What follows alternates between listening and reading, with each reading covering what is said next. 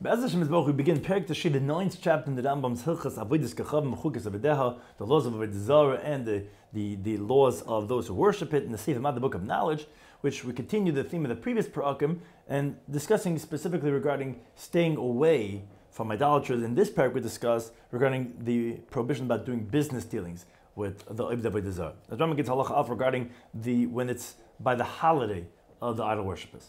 Three days before the holiday of the idol worshippers, you're not allowed to buy from them because they'll be happy uh, that they made a sale and they're going to go give thanks to their deity and it's going to be a Jew who's causing that. Or velimkalehem, or to sell them davam maskayim, something that will last, where they'll be able to use it on the holiday and again they're going to be rejoicing because of the Jew, so it's forbidden. So to luvazmem, it's forbidden to borrow from them, because they have to be concerned that they might thank their deity that the Jew needs them, or to obviously lend them will they have well, have money to use. to collect from them, because actually he'll be happy that he paid up his debts. Or to pay back to them, obviously be happy. Now that's a problem that's only the milva bishtar, when it's a loan in the document, where since the money is guaranteed, so there's no real saving of money, so you're not to go ahead and collect from them or if you have collateral. So you you're guaranteed, so you shouldn't be collecting from them. Of a milva peh, but an oral loan, nifronhem, you could collect from them even on these days. Because like saving from them, you want to make sure you get your money. You're also allowed to sell them something which will not last so long. Could go in your rockets, like vegetables in a cooked dish. That you can sell ad yom chagam until the day of the holiday. Not I mean not on the day of the holiday itself, but before, because it's not going to last anyways for the holiday. Now, when we say that all these things are forbidden, is Eretz Yisrael, in the land of Eretz Yisrael. says, but in other lands, which we live and we depend on doing business with them, in the Asa Eliyam Chag Mavad, it's only forbidden the day of the holiday itself. Now, if someone violates, and Eretz Yisrael, he goes and he does business dealings with them the three days before the holiday, it's still permitted to have benefit from that sale. Now, however, whoever does business dealing with them on the day of the holiday itself, that's forbidden to have benefit. It's forbidden to send a gift, a present to an idol worshiper on the day of his holiday. Unless you know for sure they does not admit to this uh, idol, idol, then he doesn't worship it. And the other way also. If the idol worshiper sends a gift to the Jew on the day of his holiday, of the idol worshipper, lo and you shouldn't receive the, the gift from him. If you're concerned for hatred that he's going to be upset, you, you should take from eh, eh, take it in front of him. But anybody don't have benefit from it. Unless you know definitively that this non-Jew is not an idol worshipper and does not admit, does not uh, uh, acknowledge this false deity. Halacha Gimel. Um, Let's say the holiday of these idol worshippers were for many days. Shleisha or boy, Sar was a period of three or four or even ten days. So all those days, even ten days, is like one day, meaning it's the day of the holiday. But kul masuch all forbidden. Im shleisha with the three days that's before the start of the holiday. Now the Edomim, according to some Girsos, that was from Edom. They are idol worshippers. The Yom Rishon who made them Sundays are their holiday. The figure therefore Therefore, in Eretz Yisrael, which the halacha is three days before, one is not allowed to do business with them. Every Thursday and Friday, obviously Shabbos you don't do business, of every single week.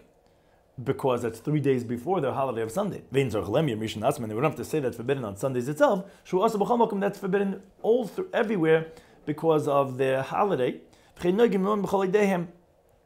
and that's the custom with their holidays, not to do the business on the day itself everywhere in the world, in Eretz Yisrael, even three days before.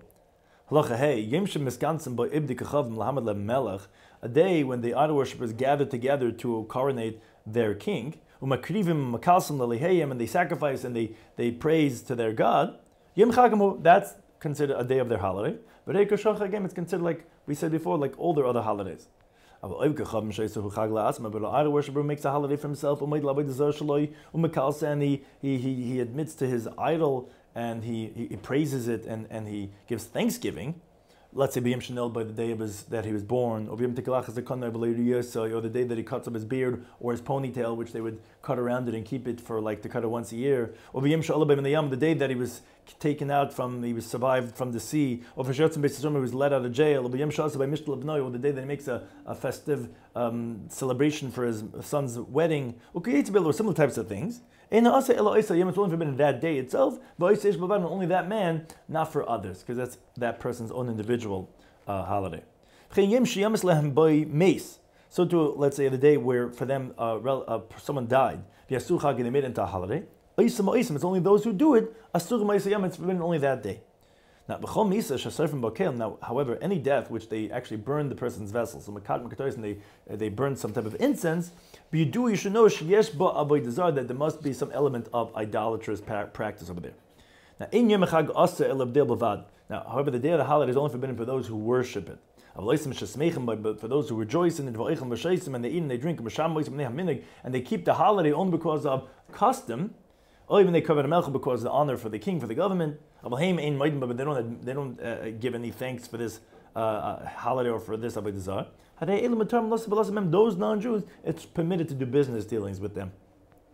Halacha above regarding the sales um, that are forbidden. Things that are distinct for that species of that type of avodah that's in that location. It's forbidden to sell to the worshippers of that Avodah Zarah, in that place, You're never allowed to sell those things because that's distinct, that you always use that for their service. Now, things that are not distinct, special only for the Avodah Zarah, you could sell it unspecific. You might use it for Avodah Zarah, you might use it for personal, you're allowed to sell it unspecific. Now, let's say the, the idol worship is coming to buy it, specifies that he's buying it for the worship of the idol, then unless you invalidated it from a sacrifice for the Avodah because they don't sacrifice something that's missing, that's deficient to their Avodah So if you make it deficient, then you're allowed to sell it to him, even though he claims he's doing it for his Avodah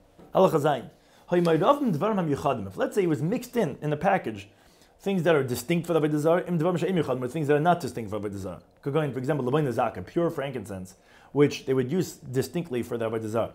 Bechlal Levine Shchara, that was included with black frankincense. So, like, it was a package, like, you know, 10, 10 buy 9, get one free. Uh, so, Meicha HaKol Stam, you could sell it all unspecific.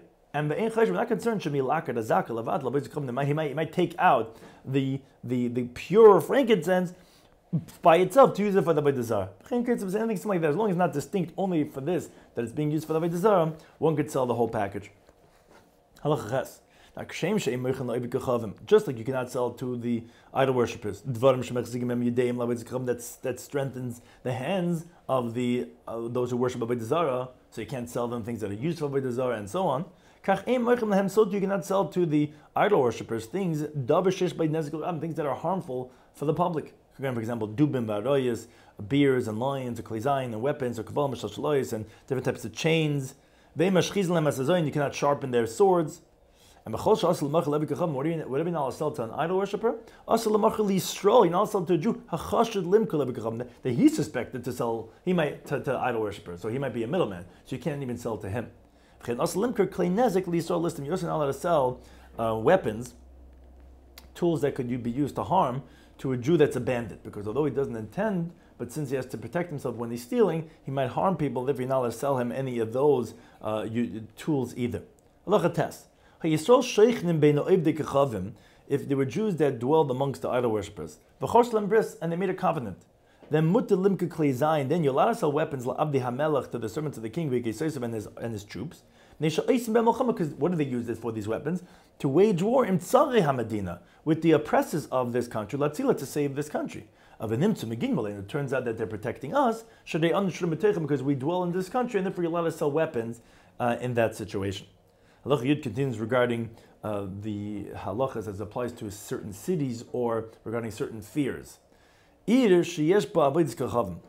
city that has in it um, idol worship, has an idol, you're allowed to go outside the city, but and I'll go into the city that has the Avodah Let's say outside the city had Avodah Zarah, you're allowed to go in the city.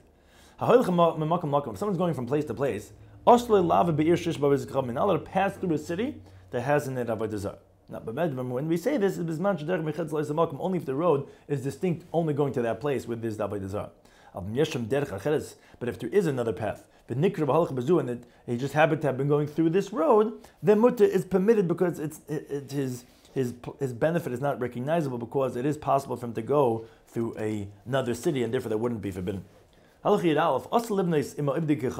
not allowed to build even together with a, an idol worshipper. Keep a dome, that that they put the uh, avodah beneath it. Now, vim avavavavavavana, if he violated and he did build it, the wages are permitted because the accessories of a are not forbidden until it's actually served. And it wasn't served yet. But it is initially forbidden to build it. But he could initially build a traklin, the palace, or a chatzar, or the court, but that has in it the, the dome, the, the actual um, mansion itself is permitted to be built. A city that has in it um, avodah now, there were stores that had crowns on it and stores that were not, didn't have crowns on it. Samutaris, the ones that were crowned, asla hanis ben, they'll have any benefit from whatever's inside that store. Because the presumption is it's because of idolatry that it was crowned, so it's it's because of avodah zara that whole store, and you now have benefit. V'shein mutaris, those that are not crowned, mutaris bana, you'll have benefit from it. Now, regarding the stores of, of, of the Avodah Zarah, Asla Sachin to rent it, Nishamahana because then you're going to be giving benefit to the uh, to the Avodah Zarah's treasury, and that's forbidden. Someone sells a house to uh, idol worshipper, Dam of Asuran its monetary proceeds is forbidden to have benefit, and meaning for the Avodah Zarah, if he sells the house for Avodah Zarah, the money monies are forbidden to benefit, and he throws it to the Dead Sea.